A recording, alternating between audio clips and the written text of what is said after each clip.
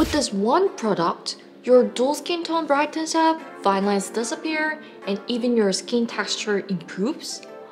We're gonna dive deep into everything you need to know about vitamin C from A to Z right here on Wishtrend TV. Hey Wishtrenders, it's Yoonha. Once you start getting into skincare, vitamin C is one of those ingredients everyone looks into at least once, right? Most of you probably already know that vitamin C is great for brightening your skin tone.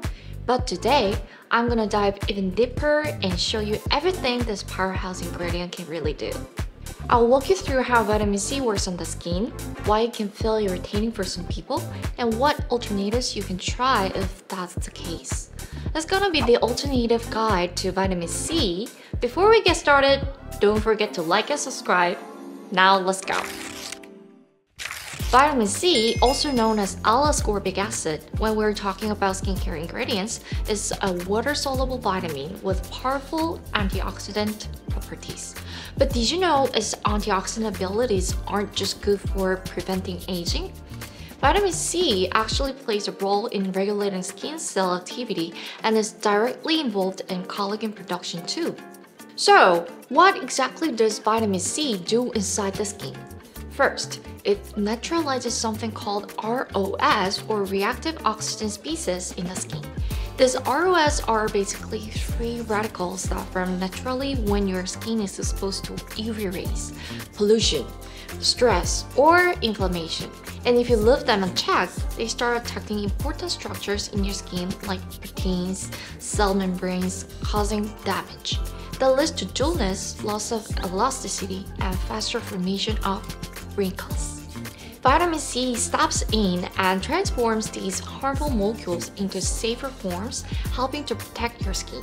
You can think of it as like a cleanup crew, getting rid of those aggressive substances that throw your skin off balance.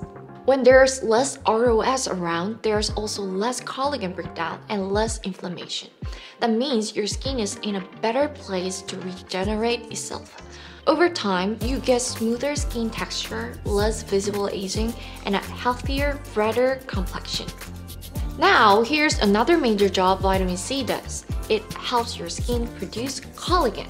Collagen is a structured protein that gives your skin its firmness and bounce. But to build collagen properly, your body needs enzymes called proline hydroxylase and lysyl hydroxylase. These enzymes add hydroxyl groups to amino acid chains, which is a crucial step in forming collagen's triple helix structure, the thing that makes it stronger and resilient.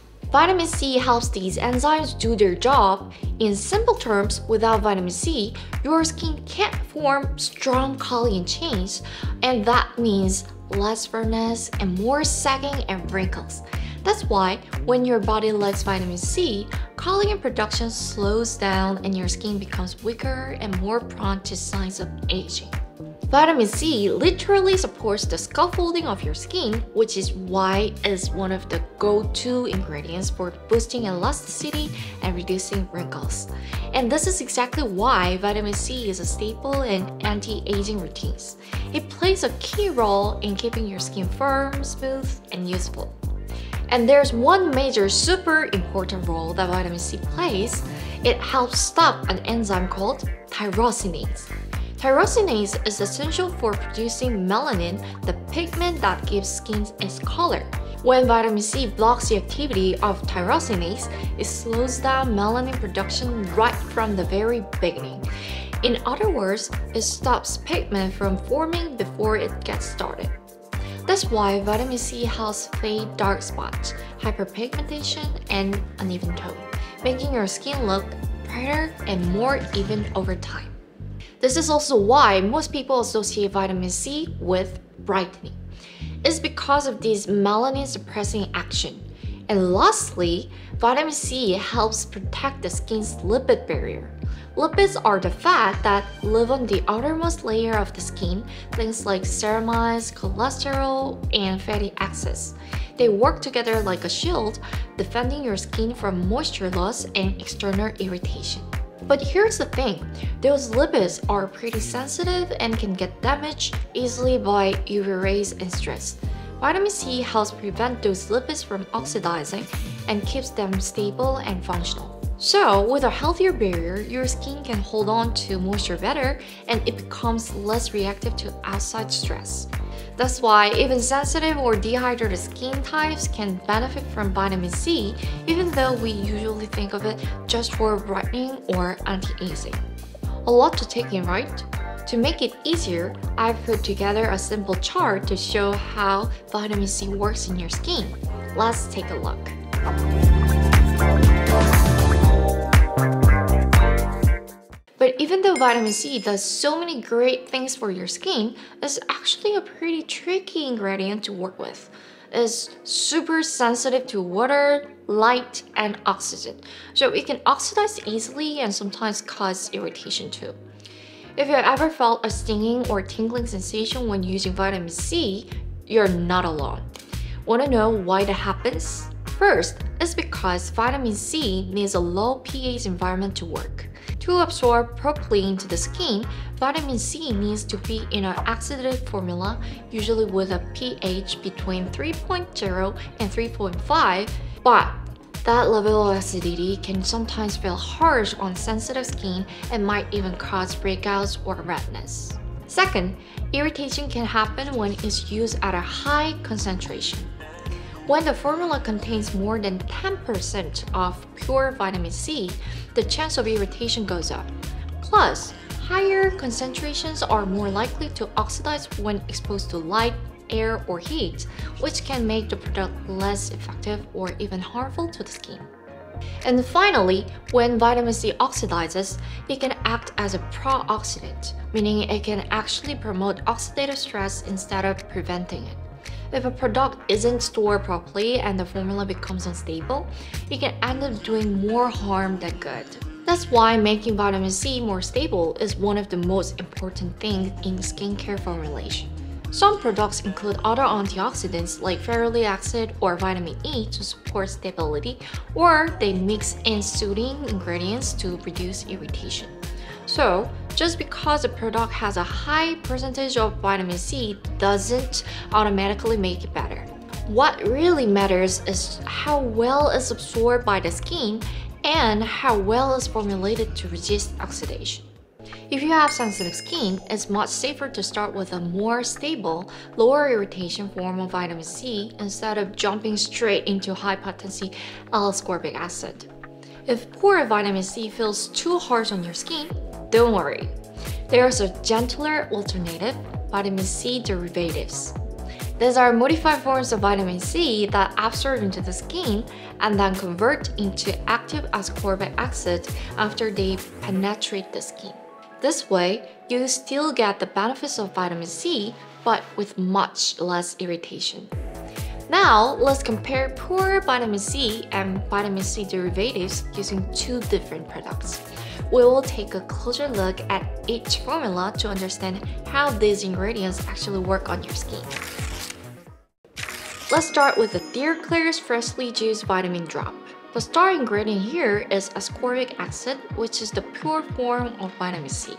It helps brighten the skin by inhibiting melanin production, boosts collagen synthesis, and provides antioxidant protection.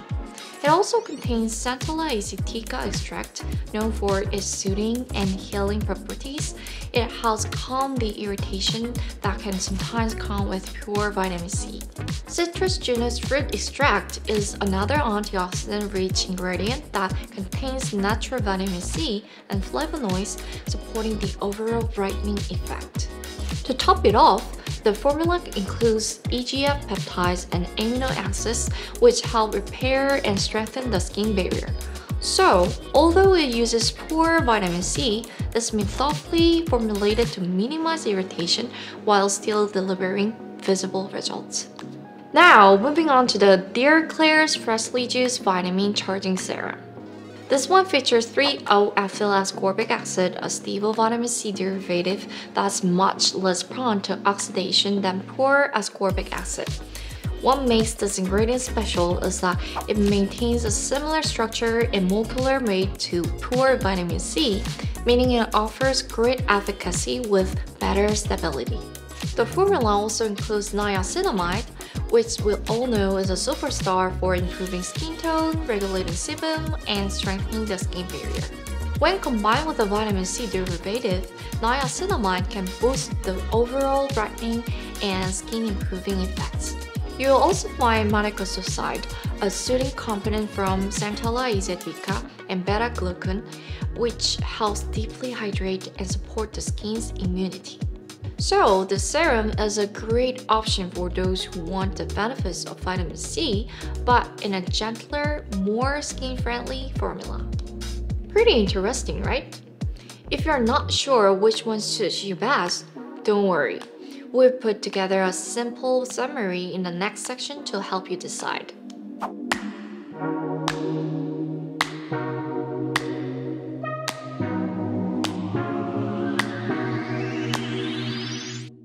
So, we've talked about vitamin C, but before we wrap up, make sure to follow these tips for the best results. 1.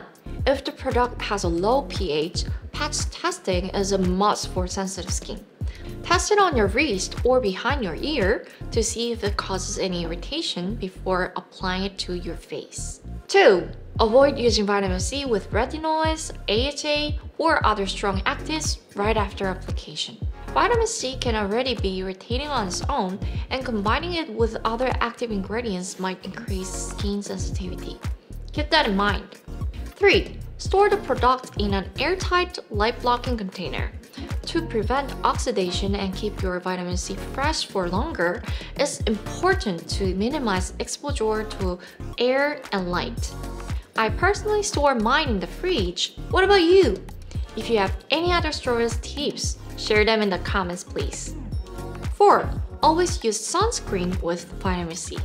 Vitamin C is sensitive to light, so many people prefer using it at night. But when used during the day, it actually helps suppress melanin damage caused by UV rays. That's why it's even more important to apply sunscreen to prevent oxidation. You already know sunscreen is a must, right? Find a sunscreen that works for you and maximize the benefits of your vitamin C.